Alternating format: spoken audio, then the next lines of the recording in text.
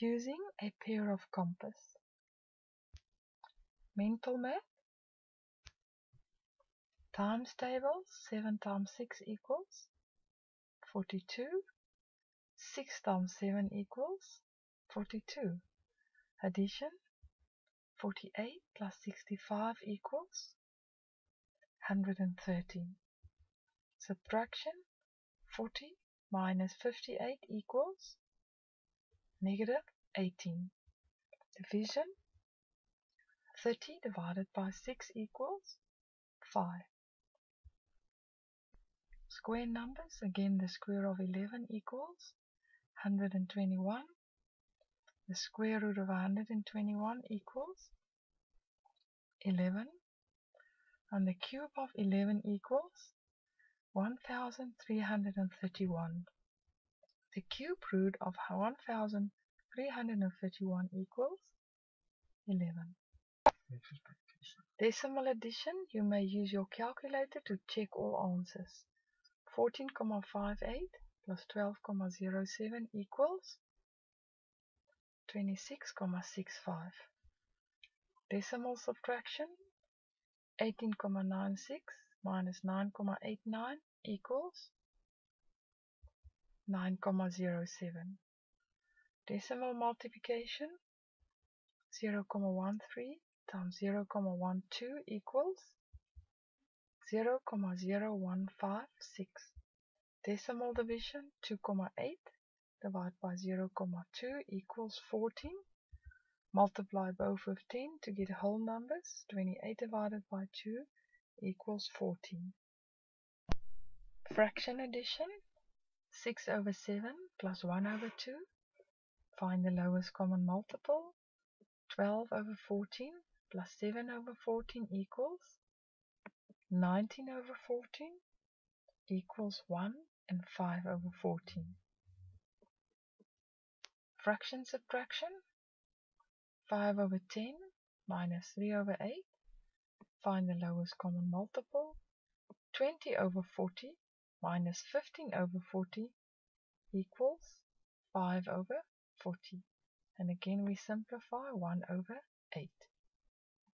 Fraction multiplication 2 over 3 times 1 over 4 equals 2 over 12. We simplify 1 over 6. Fraction division 2 over 3 divided by 1 over 4 equals 2 over 3 times 4 over 1 equals 8 over 3. Using a pair of compass, draw a line segment with a straight edge. Remember a line segment uses a notation AB, which means it starts at A and it ends at B. There we have a line segment AB. Now draw line segments of 3 centimeters, 80 millimeters and 2,4 centimeters. You can practice on a, this on a piece of paper. I'm just going to draw 3 centimeters. There is A and B. How to draw a circle.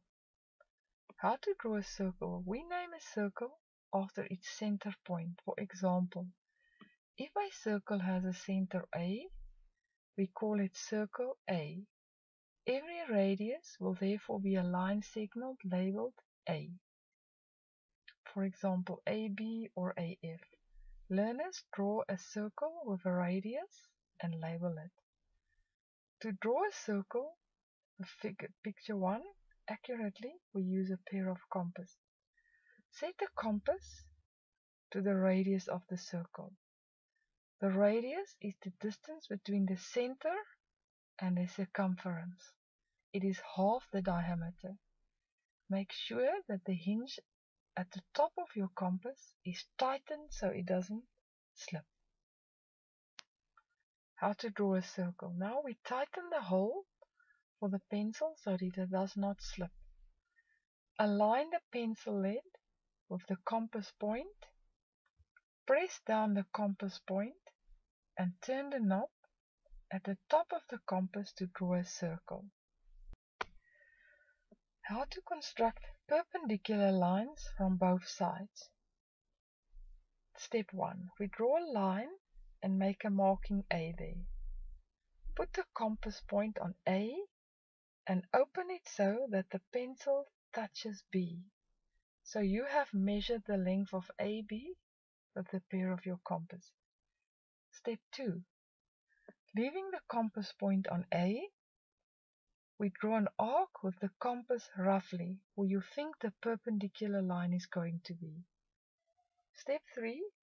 Now you move your compass point to B and you draw another arc that crosses the first label it as C. Look at the drawing and do the same to get D. Now you're going to do it at the bottom of this. Finally, you have constructed perpendicular lines on both sides. How to construct a 45 degrees angle. We construct a perpendicular line. So we're going to follow step 1 to 3, how to do perpendicular lines. Step 2, leaving the compass point on C, we drew an arc with the compass roughly halfway between C and B. Place it now on B and you draw an arc crossing the first one. Mark it as D and draw the line which now creates two 45 degree angles.